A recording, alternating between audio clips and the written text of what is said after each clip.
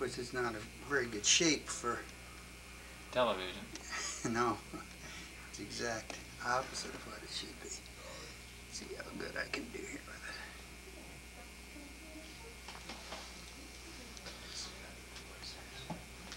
it. Yeah.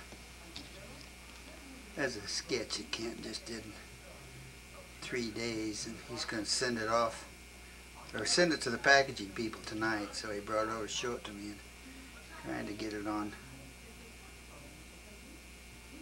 tape here.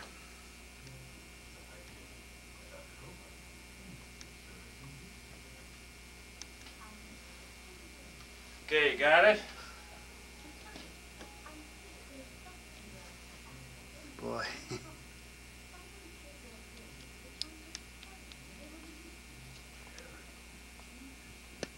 Neato. Now you gonna it'll be framed back there, huh? Yeah. I don't frame these little ones. I just uh, am intrigued by the idea of this abstract expressionist oil painting rendered eventually in egg tempera. I think that's going to be because I want to do a painting of this. Oh, a painting of This the scene. study for a painting. Oh, yeah. it's a study for a painting. Yeah. Yeah. I see. It's just a sketch, right? Just a lousy three Just a lousy sketch. well, that'd make a great painting. And that the background is, a painting by a friend of mine, an abstract painter, John Sparagana.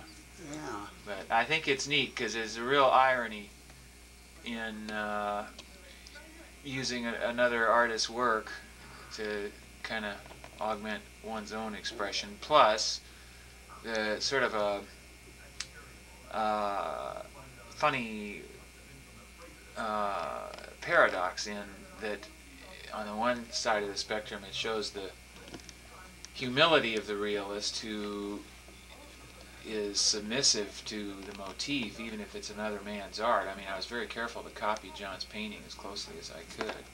And on the other end of the, of the spectrum, it, the arrogance of the realist who figures that he can contain everything, even abstraction. And of course, that's my real position. Yeah, yeah. I like I've always felt realist art can contain abstraction. Abstraction, by definition, cannot contain realism. Yeah, so. good point. Yeah, I like that. Right. I tell you, it's fascinating. I, I love the background in your drawing. I thought the painting was. I like it better in my drawing than I did. Well, in I do too. Believe me, because I really, I thought the painting itself was just so much mud. No, I disagree with that. But Well, maybe I didn't give it enough time to really study it. But okay, I'm out of here. Good. I'll bet I got something.